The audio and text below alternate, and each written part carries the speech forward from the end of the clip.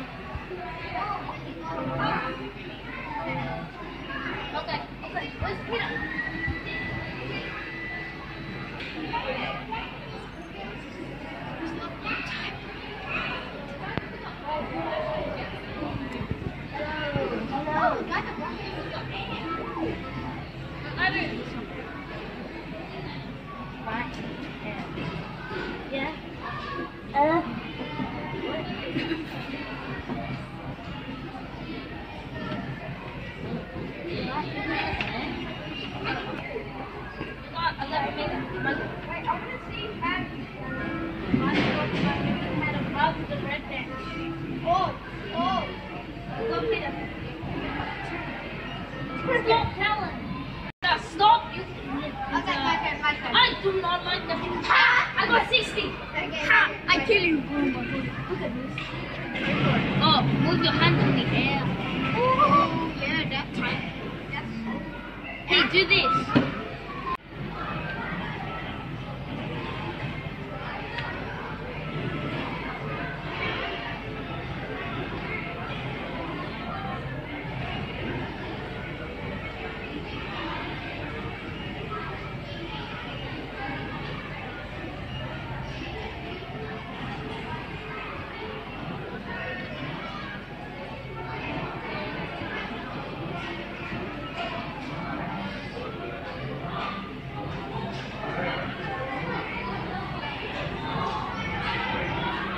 Thank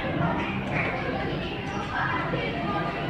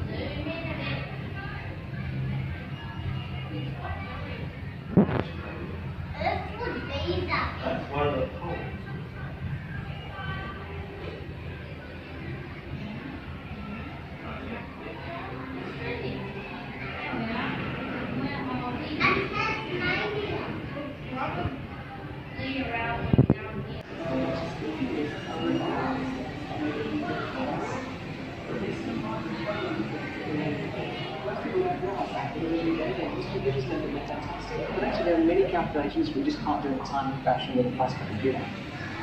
Every year, devices get smaller and smaller and faster and faster. And for an industry to rely on keeping a laptop that works better than the last one you year, I started to think about. The consequence of getting smaller and faster is that the actual smallest feature size is now getting to measure that single atom. And at a single atom, we can actually start to use the quantum states on those, on those devices.